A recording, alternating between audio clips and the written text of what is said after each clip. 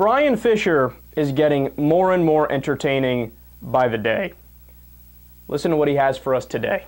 President Obama, we find out this morning, is going to have a high-level meeting at the White House with representatives of the Muslim Brotherhood, talking about selling out this country, the infiltration of the Muslim Brotherhood into the the upper structures of the Obama administration. John Brennan, who is the head of the CIA, these are the guys that are supposed to be responsible to get the intelligence on jihadist attacks against the United States of America that are coming from Muslims. That's where they're all coming from. They're all coming from Muslims. John Brennan is a Muslim.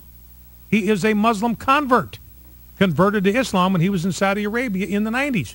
And he's the guy that's supposed to protect us from Muslims. He's a devout Muslim. He's a diehard Muslim. He believes what Muslims believe. And we're supposed to trust him. I can't get enough of this guy. I can't get enough of this guy. So uh, where to begin?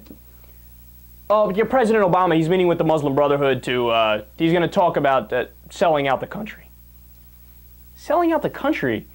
Uh, could you imagine, seriously, imagine we actually lived in uh, Bryan Fischer's fantasy bubble and uh, President Obama is like, all right, guys, single file, come on in, Muslim Brotherhood, sit down, take a seat, take a seat. Okay, we're going to open up bidding. We'll start with Nebraska. And uh, $18 million, who's willing to pay $18 million, $18 million, $18 million for Nebraska, and uh, $18 million, you know, I'm talking about the, you know, the guys at the auction. And uh, $18 million, $18 million, sold to the man in the, in the burqa. like, that's so absurd. Uh, who wants South Dakota? Raise your hand. You're going to sell out America in uh, a meeting with the Muslim Brotherhood. And then uh, he talks about, well, they're having the meetings because he wants the Muslim Brotherhood in the upper levels of government. Okay, understand, do you realize what just happened in Egypt? Okay, there was a coup of the government. You know who was the government that got overthrown? The Muslim Brotherhood. You know what one of the reasons was as to why they overthrew them? They didn't like the fact that they were implementing some religious policies. You couldn't get the Muslim Brotherhood to be accepted in the most populous Muslim country in the world. But according to Bryan Fischer, the Muslim Brotherhood is going to infiltrate the government in a country that has less than 1% Muslims. And of the less than 1% Muslims, Probably 1% of them is actually sympathetic to the Muslim Brotherhood. Dude, 76% of America is Christian. And we're going to have the Muslim Brotherhood trot in and uh, take over the government? That's so random. Might as well. Uh, you know, we're uh, very fearful of the Hindus taking over uh, the American government today. Why? There's no Hindus in the U.S. What are you talking about? Uh, these Buddhists, I'm telling you, they're going to make a run for it in the midterm elections. It's, you know, the Buddhists are going to wipe us out.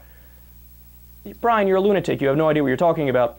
And then, of course, uh, he slipped in that um, Muslims are the ones that are terrorizing us. It's Muslims. It's Muslims, right? Dude, it's not only Muslim. This is the biggest right-wing canard that there is. They say, oh, no, no, it's only Muslims that commit uh, terrorism. Really? So then why is it uh, there was a Department of Homeland Security uh, and CIA and FBI study that was started under the Bush administration, right? So it was a conservative Republican who issued the study. The people that were the head of those departments were conservative Republicans, right? They did this study on terrorism, big study. You know what they found? Over 50% of the terrorist attacks in the US were done by right wing extremists. Militia movements, abortion clinic bombings, things of that nature. They concluded that was the biggest threat facing the US.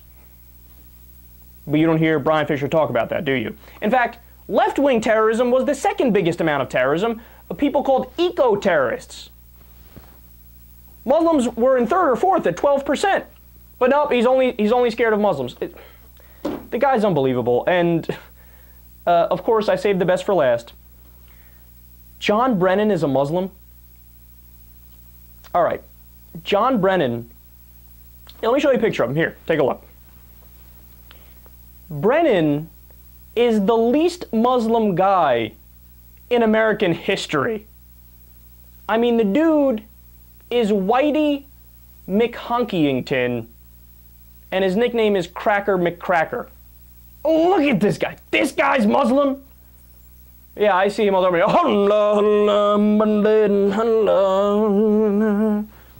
I have no idea if that's how Muslim prayer goes, but uh, he's not Muslim. Of course he's not Muslim. He worked under the Clinton administration and the CIA, under the Bush administration, now under the Obama administration. He's been in all these different administrations, been doing intelligence work the entire time. And also, by the way, uh, this is a guy who was the first to defend the drone policy under the Obama administration.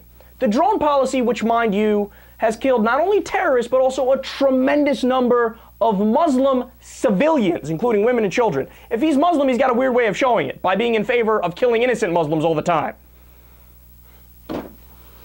Bryan Fischer, I never get fun, uh, get tired of debunking his nonsense.